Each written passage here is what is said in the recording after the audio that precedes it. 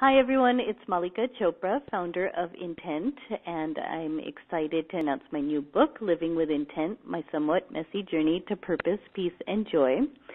Right now, I'm having a conversation with my very good close friend, Holly Perkins, who's extremely accomplished. Um, she has a new book coming out called Lift to Get Lean, as well as an organization she started called Women's Strength Nation and is involved with a company called Balladea. So, Holly, welcome. Thank you. Thank you. And most importantly, Holly is my very close friend um, and someone who has been on my personal journey of um, on and off, kind of getting on the fitness path, setting intentions, setting goals. And Holly, I've always loved working with you because I feel like you're very um, understanding and balanced um, and forgiving.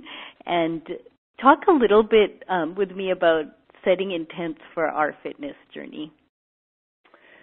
Um, you know, I think what you just said really underscores it. I think in life we all have these intentions to be healthy and be fit 100% of the time as though we should always be at this place of optimal fitness and health. And the truth is and the reality is for 99% of human beings, you just can't always be on on on all the time. And so, you know, you have such a busy crazy life and I think for you it's really important that staying in alignment with your intentions really helps during the times when you can't stay perfectly in line with the mm-hmm. activities that are going to get you there. And Yeah. so for me, it's always been about set the intentions, what is it that you want to achieve, but then also be gentle with yourself when you're not able to stay, you know, quote unquote, on the bandwagon all the time. Mhm. And just get good at the roller coaster and realizing when maybe you've gotten off track to realign with your intentions and then get good at getting back on track. And so I've always really encouraged people in general and you as well to just know when it's time to get back on track. And I think you've always done such a good job at that. Mhm, Thank you. And Holly, you also, as someone who's obviously an expert in this field, um, I know from our personal relationship that you yourself go on kind of being on, being off, the caffeine, um, then again um, around your 40th birthday, really kind of getting taking your own personal journey to another ne- level. And now I know you're beginning a new organization. So tell us a little bit about your journey. Um, yeah, I think that's I think my own personal journey really does fuel all of my philosophies as I help other people because I realize I'm a health and fitness professional and I'm dedicated to you know really being as healthy and fit as I possibly can and I realize like even for me that's hard sometimes. So I'm very transparent about that in my life and in my profession in general that it's like, listen, if anybody should be perfect all the time, it's me.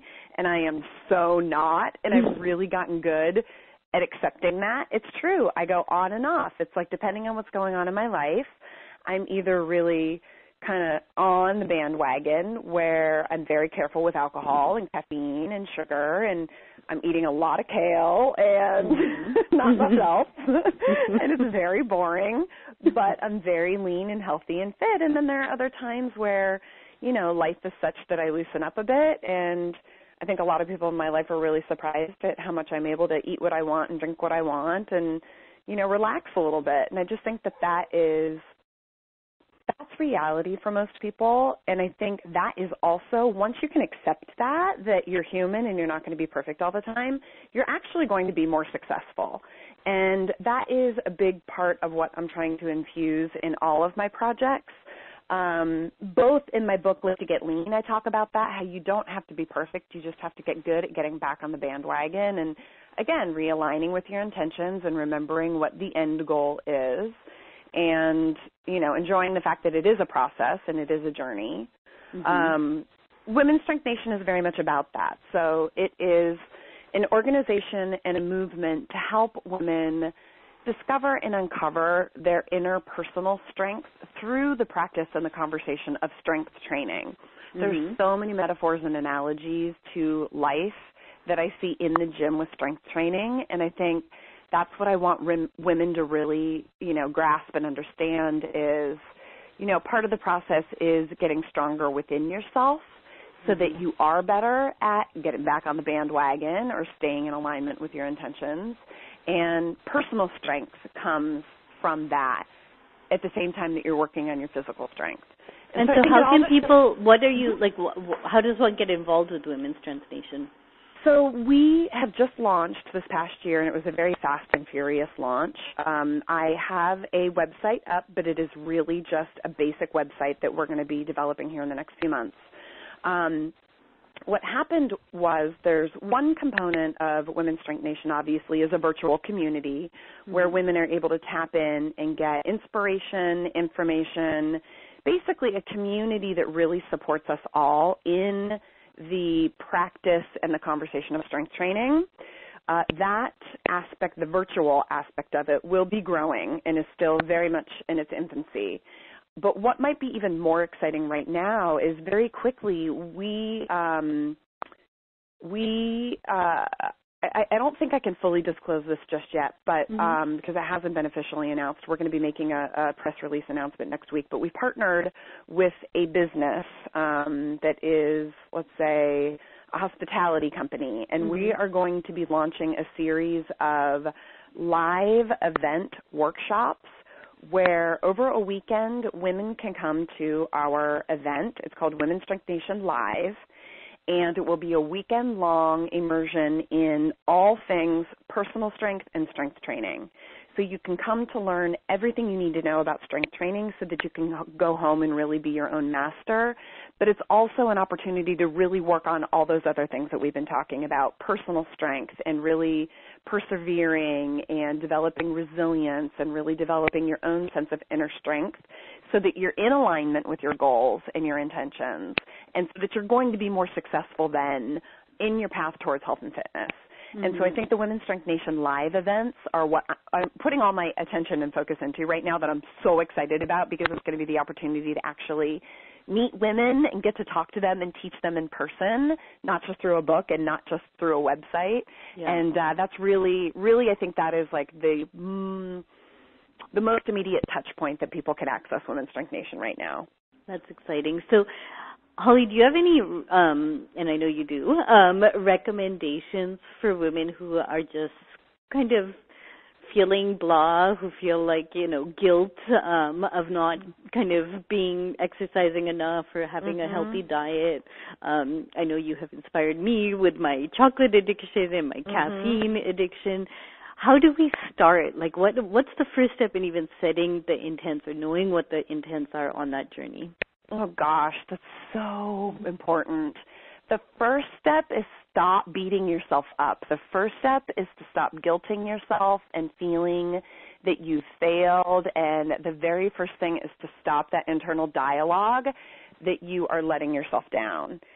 Then put that aside, accept where you are, and just say, okay, I'm beating myself up because that means I want more for myself. Mm-hmm. And once you accept the fact that you want more for yourself, then all you have to do is take one little baby step. Don't overhaul your diet. Don't join a gym and plan to go seven days a week. Literally take one little step. If there's one thing that you can do tomorrow that is better than what you did today, take that one step and just mm-hmm. stay focused on that because that's going to help you lead to bigger steps and it's also going to start to make you feel better about yourself because you're taking action towards your goals so I, I mean, I remember with you, we would start with like, you know, your macchiatos. We'd have yep. you cut back to one a day, yep. and then at some point we would have you cut back to one every other day, and then pretty soon you were just drinking teas. You know, you Absolutely. had given up your macchiatos altogether, rather than saying go cold turkey and give it up altogether, which I think is unrealistic because you love your macchiatos. There's a yeah. reason you're choosing them. So how yeah. can you give up something that you absolutely love? Just cut back. Just take one little teeny tiny baby step and you'll be amazed at how far that takes you. And I love that because actually in the book, um, you know, I always talk about intents, but I really started to think about micro intents as we've talked about, like mm-hmm. taking those baby steps. Yeah. Um, and sometimes it's just what is it for today that I need to do? Um. And you know, it's it could be yeah, so simple. Let me choose my tea instead of my macchiato. Um. And uh, that's been very helpful for me. So, well, Holly, I'm as you know, um, I love you, and um, I was thinking about kind of one of the things that probably always endeared me to you was um, when you came to India with us, and mm. uh, I saw you, who was like my role model of like eating and fitness, and you were just inhaling all the Indian food you could, including gulab jamun and all of the ah. desserts, and like you were so happy, and I was like, oh my god, even she um can do that. So, oh my god, I will so never fun. forget that. That just like there was so much food. I will never forget it, and it was the most amazing thing ever. Yeah. So, and I think again, oh, yeah, it. it's so helpful for, you know, I think all of us who are on a journey to see that other people are relatable, um, and that's been one of the reasons I just love you and I love working with you. So thank you for everything. Oh, it's been my pleasure, a hundred percent.